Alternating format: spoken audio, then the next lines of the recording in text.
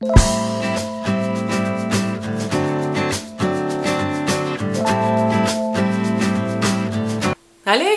liebe Bücherfreunde und herzlich willkommen im letzten Wochenende des Februars. Bei uns ist heute frühlingshaftes Wetter, es scheint die Sonne und ich freue mich dann schon äh, rauszugehen. Es ist allerdings echt kalt, es sind glaube ich knapp 3 Grad, also man merkt schon, die Sonne täuscht. Aber es ist echt schön, wenn man morgens einfach aufwacht und die Sonne scheint oder auch tagsüber man abends nach der Arbeit noch rausgehen kann und äh, es einfach hell ist und ach, es war teilweise wirklich schon eine schöne Woche, wenn nicht immer so ein bisschen dieses komische April, Schnee, Regen, Sonnewetter gewesen wäre. Aber darum soll es ja gar nicht groß gehen, sondern natürlich über die Bücher in meiner Woche. Und da habe ich tatsächlich eins noch zu Ende gelesen, was ich euch ja letztes Wochenende schon vorgestellt habe und ein äh, weiteres äh, komplett in der Woche gelesen. Und zwar habe ich äh, Clash of Kings von George R. R. Martin äh, zu Ende gelesen. Ist ja ein knapp 1000 Seiten Buch, dementsprechend ja, braucht man natürlich ein bisschen länger dafür. Ist der zweite Teil der ähm, A Song of Ice and Fire Saga. Game of Thrones Teil 2 sozusagen. Und Infernale von Sophie Jordan aus dem Löwe Verlag habe ich diese Woche begonnen und auch beendet in einem Ratzfatz-Tempo. Ihr findet unten wieder die Zeiten, wann ich mit dem jeweiligen Buch beginne, etwas darüber zu erzählen und auch wenn das andere Blabla was unter anderem diese Woche dann auch ein sehr geiler Neuzugang ist, äh, findet ihr alles unten, äh, wenn ihr nicht das ganze Video angucken wollt, sondern vielleicht euch einfach nur eins der Bücher interessiert. Und ich denke, ja, wir starten jetzt direkt mit A Clash of Kings von George R. R. Martin. Es ist der zweite Teil der fünfteiligen äh, Saga von Ein Lied von Eis und Feuer oder über Eis und Feuer. Song of, ja, von Eis und Feuer wahrscheinlich. Und zu Deutsch ist das ja der dritte und vierte Band im Deutschen sozusagen. Der dritte Band ist der Thron der sieben Königreiche und der vierte Band heißt im Deutschen die Saat des goldenen Löwen. Habe ich mir mal rausgeschrieben, weil äh, ich halt nicht weiß, wie die Bücher im Deutschen heißen. Ähm, die Serie ist ja nur bekannt unter Game of Thrones äh, und passt sich im Grunde dem ersten Teil an, denn es geht ja in dieser Saga mehr oder weniger um den Kampf um den eisernen Thron der sieben Königreiche, der ähm, ja, das sieht man ja auch wieder am Titel sozusagen des dritten Buchs, der Thron der sieben Königreiche. Ja, Clash of Kings schließt im Grunde genau da an, wo Game of Thrones aufgehört hat. Das ist jetzt das englische Buch. Ich habe einen fünfteiligen Schubert, sind auch alle fünf Teile, die bisher erschienen sind. Wer sich jetzt wundert und sagt, hä, es kommt doch demnächst in der Serie die sechste Staffel. Ja, das ist richtig. Allerdings ist diesmal ja, die Serie schneller als das Buch. George R. R. Martin hat es nicht fertiggebracht, das sechste Buch zu schreiben. Er hat auch kein Enddatum mehr bekannt gegeben.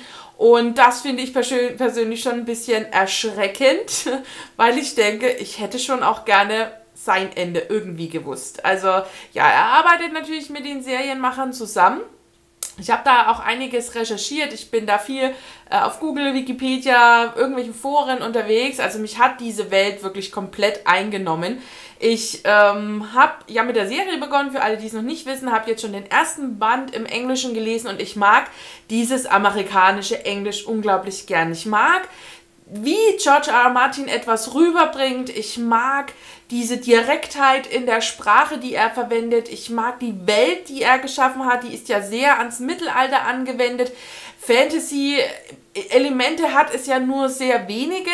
Man könnte natürlich von den Jahreszeiten sprechen, dass die Fantasy sind, weil die eben nicht äh, wie bei uns äh, bekannt ist. Also vier Jahreszeiten, ah, circa drei Monate. Das ist da nicht so. Es gibt, äh, gab jetzt aktuell, bevor die Geschichte einsetzt, einen langen Sommer und jetzt naht eben der Winter. Und wir haben eben eigentlich ursprünglich in dieser Welt sieben Königreiche, haben dementsprechend auch jetzt im Grunde noch sieben Bereiche. Und äh, früher war es eben so, dass wir auch sieben Könige hatten, bis die Targaryens gekommen sind. Das waren die Herrscher mit den Drachen. Das ist auch ein Fantasy-Element.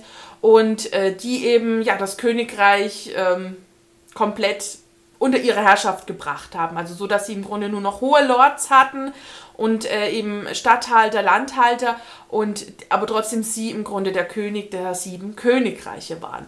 Und ähm, das scheint jetzt eben seit dem ersten Teil ein bisschen zu verfallen. Es gibt äh, ab und an mal vier bis fünf Könige. Auch wir haben eine Kalesi, die ähm, eigentlich wenn es nach dem Geburtsrecht geht, im Grunde eigentlich den meisten Anspruch auf den Thron äh, der sieben Königreiche, denn äh, Daenerys ist eine Targaryen und wird auch dann die Mutter der Drachen äh, genannt, weil eben doch die Drachen weiterhin eine große Rolle spielen.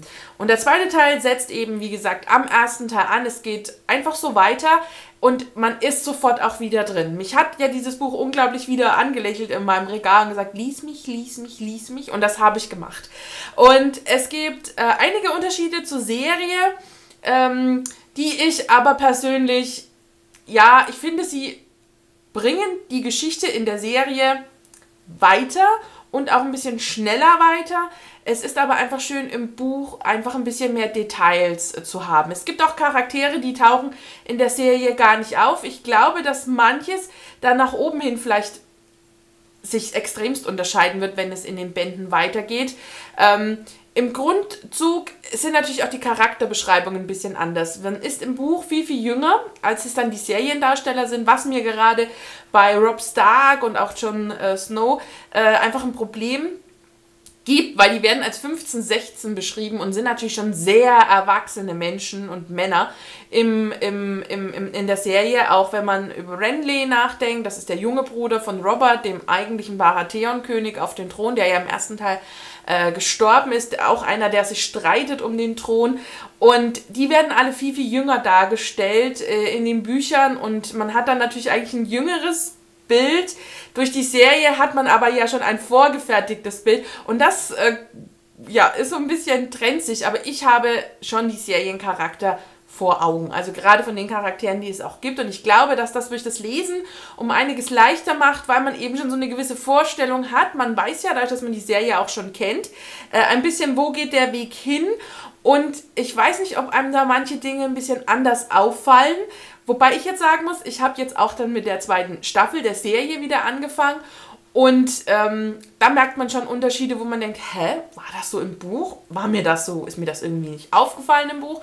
Hatte ich zum Beispiel mit Renly und Cialoras, wo ich mich äh, wirklich gefragt habe, die äh, gehen sich doch ziemlich an die Wäsche in der Serie und ich dachte irgendwie, hä, war das im Buch so deutlich, dass die beiden aufeinander stehen? Also äh, ja, das hat mich ein bisschen irritiert. Mir war irgendwie schon im Unterbewusst, ja, ich habe es ja das erste Mal sehen auch aufgenommen, habe aber das gar nicht so in Erinnerung und dachte jetzt irgendwie, hm, das wird doch gar nicht so dargestellt. Man macht natürlich in der Serie auch Geschichtsstränge äh, wie Rob Stark, die im Buch ja gar keine Perspektive haben. Aber man will natürlich eine runde Geschichte darstellen und ähm, hat natürlich nur 10 Folgen, a 50 Minuten und das von 1000 Seiten. Ich meine, es kommt schon in etwa hin. Man sagt ja immer pro 100 Seiten Geschichte eine Stunde Film.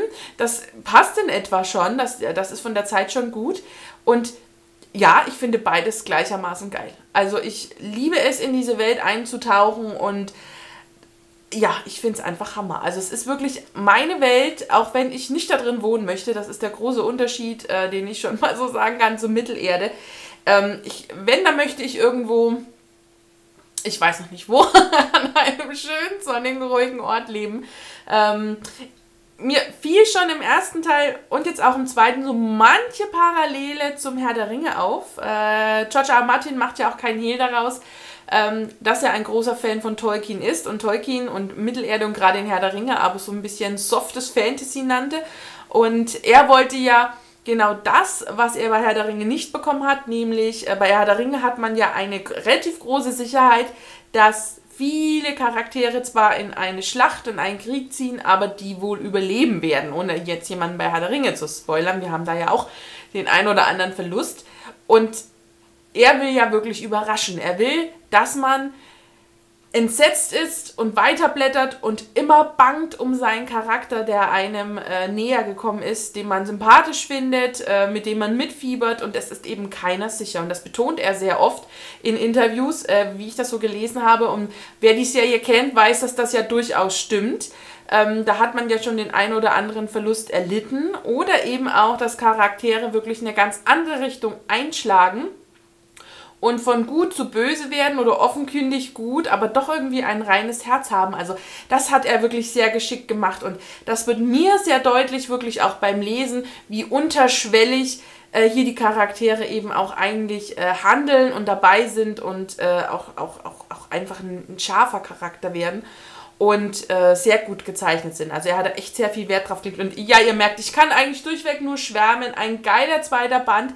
Am liebsten, muss ich ehrlich sagen, hätte ich direkt weitergelesen. Aber ich habe mir ja eigentlich vorgenommen, so jeden Monat einen. Äh, ich werde jetzt aber wahrscheinlich erst noch mit der Serie weitermachen, weil ja im März dann die fünfte Staffel auf DVD herauskommt und ich die vorbestellt habe. Und äh, dann im sechste, die sechste Staffel ja im April losgeht und da möchte ich ja vorher die Serie angeguckt haben. Zudem habe ich im März dann auch noch Urlaub eine Woche. Ähm, und äh, ja, da werde ich dann vielleicht einfach äh, ja, den dritten Band lesen. Ja, also ihr werdet auf jeden Fall noch einiges von Game of Thrones hören. Ich ähm, hoffe, es langweilt niemand, wenn ich äh, ständig so davon schwärme, aber ja. Äh, das Problem natürlich bei etwas dickeren Büchern, die in der Taschenbuchform sind, sind, dass man dann auch immer mal so einen Knick hat. Also ich habe jetzt, glaube ich, drei Knicke im Buchrücken. Es stört mich nicht. Es sieht gelesen aus und äh, ja, aber das ist natürlich wirklich bei 1000 Seiten und das ist sehr dünnes Papier, das ist ja echt ein Wälzer. Ist das natürlich nicht vermeidbar, wenn man es einfach mal in der Hand hält. Äh, Wäre ja komisch, wenn nicht. Aber stört mich nicht, echt nicht, aber es fällt halt einfach auf, es ist echt ein dickes Buch. Vielleicht sollte man diese Bücher doch dann tatsächlich als E-Book lesen. Aber sie sehen ja auch im Deutschen sehr schön im Regal aus. Aber mir sind halt wirklich 15 Euro für 10 Bände. Das ist, äh, ist ja wirklich eine Anschaffung. Da ähm, ja, brauche ich mal einen Gewinn. Dann, ah, was ich noch vergessen habe. Ich habe mir ein Zitat äh, rausgeschrieben äh, aus dem Buch, was ich sehr cool fand, äh, von Tyrion. Das habe ich mir auch tatsächlich noch aufgeschrieben. Und zwar, Schlafen ist gut und Bücher sind noch besser. Und ich musste so, so schmunzeln bei diesem Buch, weil ich dachte, ja, Tyrion, du sagst absolut was Richtiges. So fühle ich mich gerade auch. Wer braucht Schlaf? wenn er so ein geiles Buch lesen kann. Ja, äh, das wollte ich euch nicht vorenthalten, dadurch, dass ich es mir auch einfach aufgeschrieben habe. Dann geht es weiter mit einem Buch, das mir vom Löwe Verlag zur Verfügung gestellt wurde. Infernale von Sophie Jordan ist jetzt äh, ganz aktuell im Februar erschienen, um genau zu sein, am 15. kostet als ähm, Hardcover 16, nein, 17,95 und als E-Book 13,99 und ist der Auftakt einer Duologie, also einer zweibändigen Reihe. Äh, und es ist vom Genre her schon Jugenddystopie mit sehr harten Einschlägen. Ja, Sophie Jordan, manchen vielleicht bekannt aus der Firelight-Trilogie, die ich äh, damals sehr verschlungen habe, sehr geliebt habe, ganz, ganz toll fand und auch heute noch in guter Erinnerung habe. Und um was geht es in Infernale? Äh, wir sind hier in einer Welt, äh, die äh, die Gene besonders intensiv studiert haben und es gibt ein HTS-Gen, ähm, das auch das Mördergen genannt wird. Das heißt, viele Mörder oder auch Schwerverbrecher haben dieses Gen in sich und es wird darauf geschoben, dass sie eben so bösartig sind und ja eben morden oder ja eben auch verletzend und auch ein bisschen sadistisch vielleicht sind. Und äh, wir sind dabei, als noch, äh, ich glaube, ab einem gewissen Alter erst getestet wird, irgendwann mit 15, 16 und wir treffen auf äh, Davy, die an eine normale Schule geht, eine Hochbegabte ist, sehr viele Instrumente spielt, singen kann und ihr äh, ja Schule, also ihre Zukunft im Grunde eigentlich schon feststeht, dass sie auf die Juilliard geht, ein relativ bekanntes äh, College, was wir, glaube ich, auch in Deutschland äh, durch Filme und sonstiges sehr gut kennen. Und sie hat einen äh, lieben Freund, eine tolle Freundin, einen super Freundeskreis und ist auch sehr beliebt. Bis eines Tages äh, sie in die Schule, glaube ich, gebeten wird oder heimgebeten wird und ihr dann gesagt wird, dass sie äh, eben das äh, Mördergen in sich trägt und ähm, ja, ihre Familie das noch relativ gefasst aufnimmt, zumindest am, äh, zu Beginn. Allerdings sich ihre Freunde und gerade ihr Freund relativ schnell von ihr abwenden und sich für sie das Leben wirklich schlagartig ändert. Denn als ihr Freund sie äh, sehr blöd ähm, ja, behandelt, ist sie ihm eine knallt, was ich absolut richtig finde ich bin kein Mensch, der, der Gewalt gut findet, aber er hat es nicht anders verdient. Und sie dann auch noch gekennzeichnet wird, äh, wie man es auch hier sehen kann, kann man sich die Kennzeichnung, denke ich, einfach am Hals so vorstellen. Eben mit diesem H, äh, dass es sie eben HTS äh, trägt. Und äh, mit dieser Kennzeichnung ist dann das Leben an der normalen Schule vorbei. Es gibt eine Schule, die auch äh, ja, diese Träger eben aufnimmt und sie mehr oder weniger in einem Käfig am Tage hält. Sie müssen früh eine halbe Stunde später kommen, abends eine halbe Stunde später gehen, damit sie den normalen Kindern nicht über den Weg laufen. Und es passiert, dass ein paar HTS-Träger äh, der Meinung sind, oh, jetzt benehmen wir uns mal genau so, wie es von uns erwartet äh, wird, um sich schießen und dass das Leben aller HTS-Träger sozusagen verändert, weil sie jetzt in Internierungslager gebracht werden. Auch Davy ist dabei. Zum Glück dürfen zwei ihrer neuen Schulfreunde Sean und Gil ebenfalls in dieses Lager. Allerdings werden wir verschont von diesem Internierungslager, denn alle drei machen wohl einen sehr hochbegabten Eindruck und kommen auf eine Art andere Schule. Aber ob das besser oder schlechter ist, das erleben wir in diesem Buch. Die Idee der Geschichte finde ich sehr genial. Ich äh, fand es schon super interessant, als ich den Klappentext gelesen habe zur Bucherscheinung und dachte mir, das ist doch mal ein Thema. Also es ist ja, glaube ich, ähm, mehr als nur ein Thema. Man macht Gentests, man äh, versucht den Menschen besser zu durchschauen, warum er manches tut und manches nicht. Wie ticken Menschen und wie könnte man Einfluss darauf nehmen? Und sind wir ganz ehrlich, haben wir nicht alle so ein bisschen Angst, ist vielleicht zu viel, aber ein paar Bedenken dabei. Wenn man dieses Buch liest, bekommt man ganz viele mehr Bedenken. Denn dieses äh, Mördergen ist natürlich, wie sicher ist denn dieser Test? Das waren so die ersten Fragen, die sich mir gestellt haben. Und äh, kann ich nicht auch jemanden einfach dieses Gen äh, unterschieben, um äh, eine Erklärung für so manches zu haben? Also es waren viele, viele Fragen, Gedanken, die sich in mir auftaten. Die Idee finde ich wirklich gelungen. Ich mochte wie das so ausgearbeitet wurde, welche Gedankengänge auch Davy, eine sehr sympathische Protagonistin, äh, geführt hat, und ich mochte auch, wie die Gesellschaft reagiert hat. Denn es war total wunderbares Klischee und ich glaube, eine Mehrzahl der Menschheit würde genauso ticken.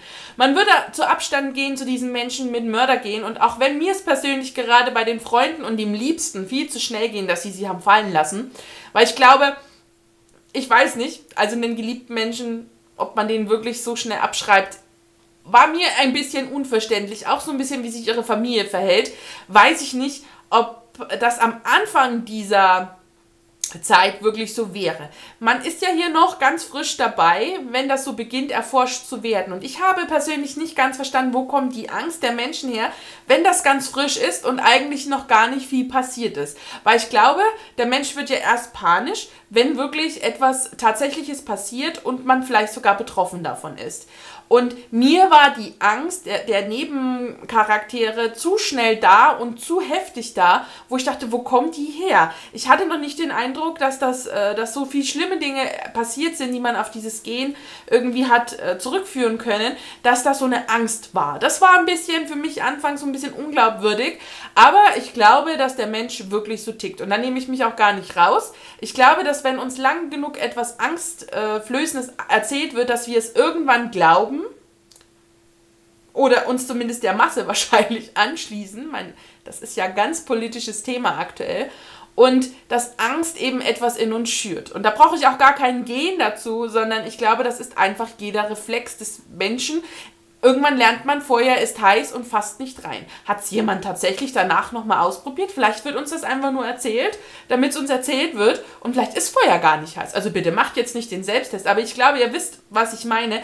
Man hat Dinge eben über Jahrhunderte gelernt, auch einfach durch die, die Entwicklung des Menschen äh, und zweifelt da auch gar nicht dann irgendwann mehr dran. Und so ist das eben mit dem Gen auch. Was ich äh, ganz klasse fand, war wirklich der schnelle Stil der Geschichte. Ich kann mich erinnern, dass Firelight auch eine sehr schnelle, lebendige Geschichte war und ich bin hier durchgeflogen. Ich hatte die ersten 200 Seiten so in einem Rutsch inhaliert, war total gebannt, total gefesselt und fand es unglaublich spannend und wollte unbedingt wissen, wie geht es mit Davy weiter? Was passiert mit ihren neuen Schulkollegen? Was sind diese Internierungslager? Wie geht es auf dieser Welt, bevorzugt sie mir hier natürlich in den USA, weiter?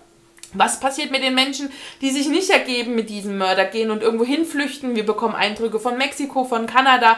Und das sind so Dinge, die ich unglaublich toll fand. Und man hat hier auch immer mal so äh, Erzählschnipsel drin, also wie Briefe zwischen verschiedenen Ärzten, äh, die man eben einfach näher äh, greifen kann, um auch die Hintergründe der Geschichte einfach äh, besser zu verstehen.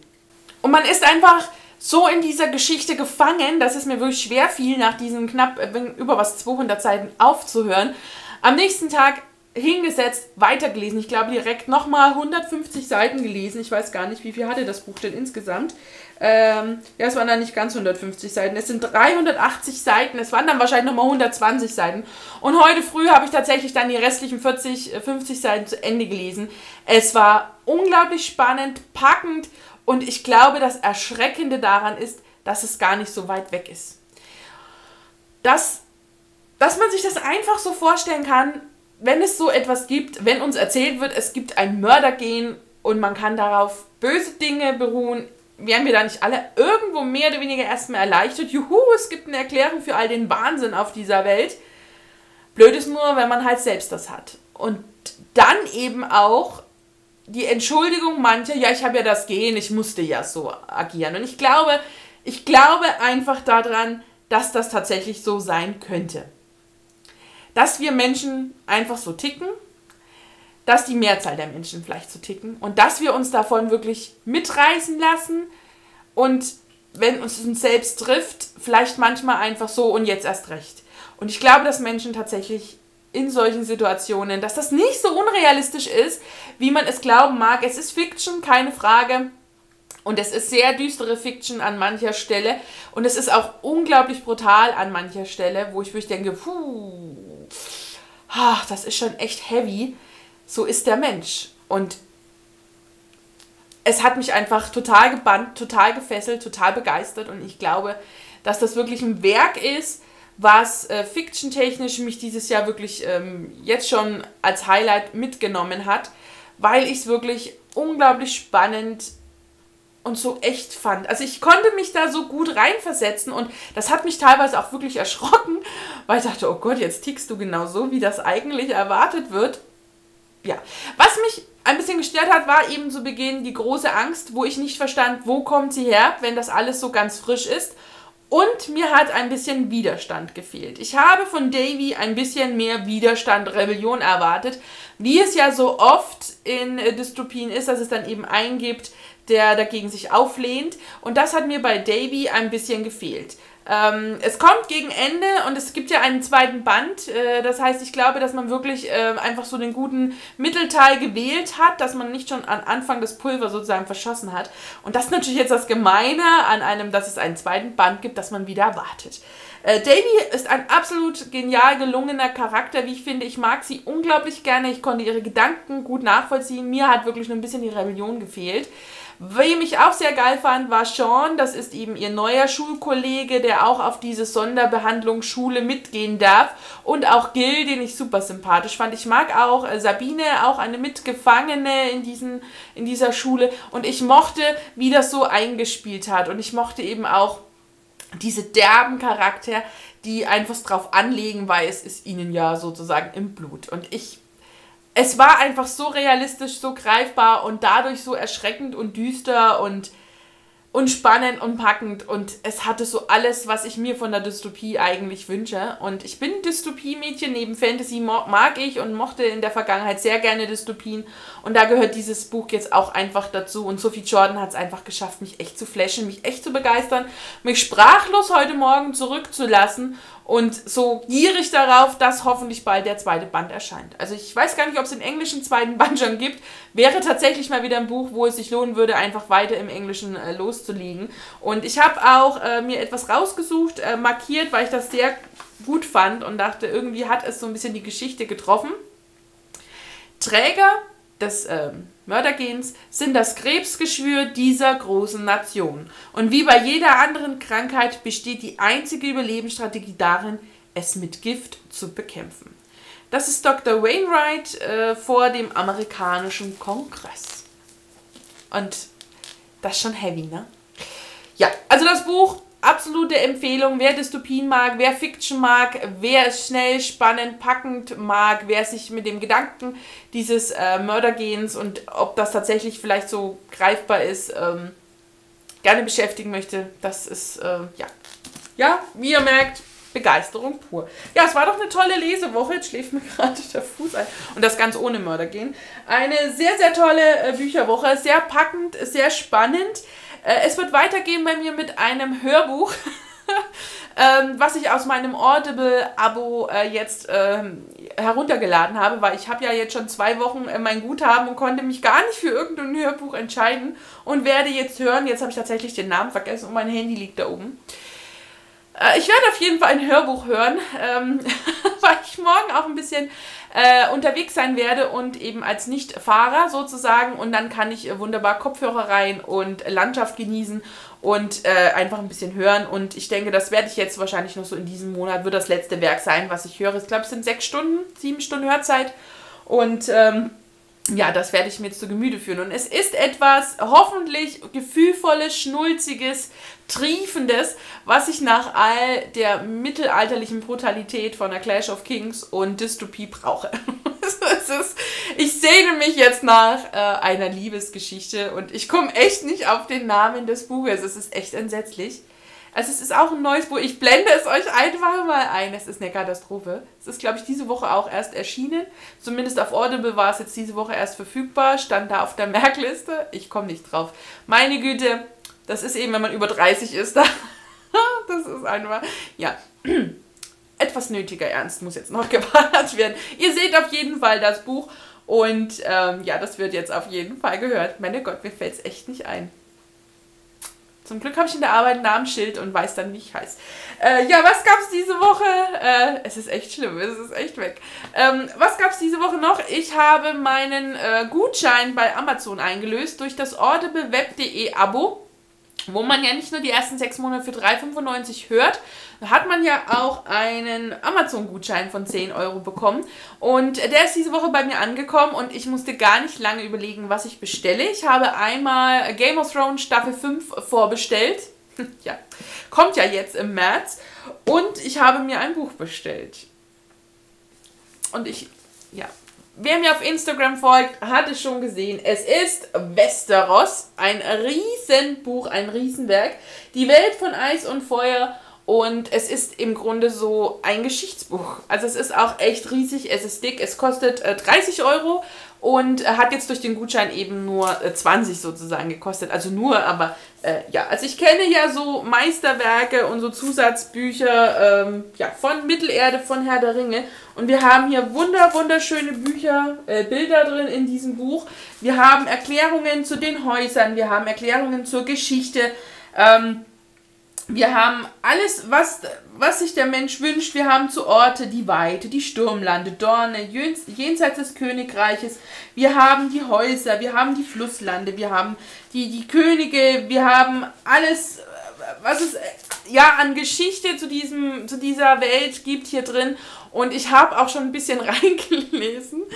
Ja, ich bin einfach in diesem Fieber. Ich kann es nicht ändern und ich will es auch gar nicht ändern und mich packt es einfach. Und äh, ja, es ist echt ein Wahnsinnsbuch und meine Katze hat schon reingebissen. Ja, das ist äh, Katze. Äh, furchtbar. Also es ist, ihr seht wirklich, es ist ein riesen äh, Wälzer und es sind wunder, wunderschöne Bücher drin. Äh, Bücher, es sind wunderschöne Bilder in diesem Buch drin und ich bin da wirklich äh, total gefesselt. Also ich äh, könnte da stundenlang hier mit reinschauen, mit rumwühlen und ach, alles nochmal so intensiv erleben und äh, ich, ich, ich, ja, ich kann nicht anders. Ich äh, bin da einfach Freak und Fan und äh, finde das toll. Ansonsten diese Woche, ähm, was noch so ein bisschen äh, bei mir äh, passiert, ja, ich habe Game of Thrones Staffel 2 angeguckt, allerdings erst die Hälfte, fünf Folgen. Ich äh, werde das jetzt immer morgens angucken. Ich habe morgens jetzt ein bisschen mehr Zeit, weil ich ab äh, Dienstag ein bisschen später anfange, will aber trotzdem einfach so ähnlich aufstehen, damit ich eine Frühstücksbekleidung äh, habe und kann mir morgens einfach so eine halbe Stunde länger Zeit äh, lassen und werde da einfach ein bisschen Game of Thrones schauen. also so beim Schminken und dem ersten Glas Saft und äh, ja, ja, ich kann es nicht. Ich kann nicht anders und es wird, äh, denke ich, einfach äh, nahtlos äh, weitergehen, weil ich ja eine Beschäftigung morgens brauche, weil um halb sieben, sieben äh, macht man noch nicht viel anderes als einfach aufwachen. Ähm, ansonsten die letzte Woche, was haben wir da ein bisschen getrieben? Ähm, waren wir lecker essen? Bei uns hat ein Brasilianer aufgemacht, der aber gerade an dem Tag Ruhetag hatte, was irgendwie blöd ist. Äh, aber gut, äh, was ähm, hm, hm, gibt es noch? Ich glaube, es gab die Woche nichts Buchtechnisches, Musiktechnisches. Bin ich nach wie vor auf dem Ed Sheeran-Trip äh, und mag auch äh, The Dark Tenors. Ich höre auch im Auto gerade Adele wieder. Ich mag dieses Album unglaublich gerne und ähm, ja, es gibt, glaube ich, sonst gar nichts diese Woche erzählen. Sie war sehr Shopping Queen-lastig. Äh, wir haben ein bisschen aufgeholt. Äh, meine Mama und ich nehmen uns das ja gerne äh, nachmittags mal auf und gucken da abends einfach mal rein. Und ähm, ja, nehmen und schauen uns das Aufgenommene sozusagen an. Ja, ich glaube, das ist so buch- und lesetechnisch soweit, äh, ja. Nächste Woche wird es den Wochenrückblick erst am Sonntag geben, denn Samstag werde ich, wenn jetzt nichts gar irgendwie Großes dazwischen kommt, in Regensburg sein.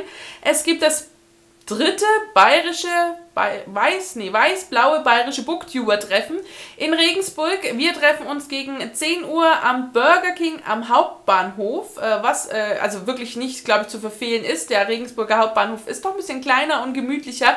War ich schon äh, drei, vier Mal und freue mich auf äh, die Leute, die da alles sein werden. Und wer natürlich von euch in der Nähe wohnt oder gar in Regensburg, wäre natürlich cool, wenn ihr auch einfach mal vorbeikommt. Äh, ich weiß noch nicht, was so, ob überhaupt was geplant ist, aber ich freue mich einfach auf die Menschen, die da da sind, dass man sich einfach wieder persönlich ein bisschen austauschen äh, kann.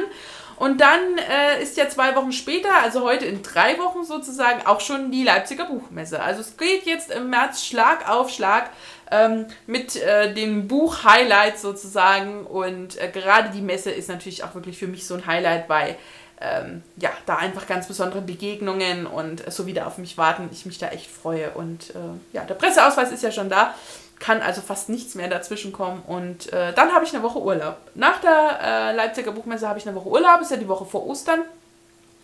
Und da freue ich mich auch schon sehr drauf. Also ich möchte äh, wahrscheinlich meine Küche äh, renovieren, wenn es nicht doch erst das Schlafzimmer wird, je nachdem, ähm, ob ich jetzt eher einen Teppich kaufe oder eher Arbeitsplatten für die Küche. Mal gucken.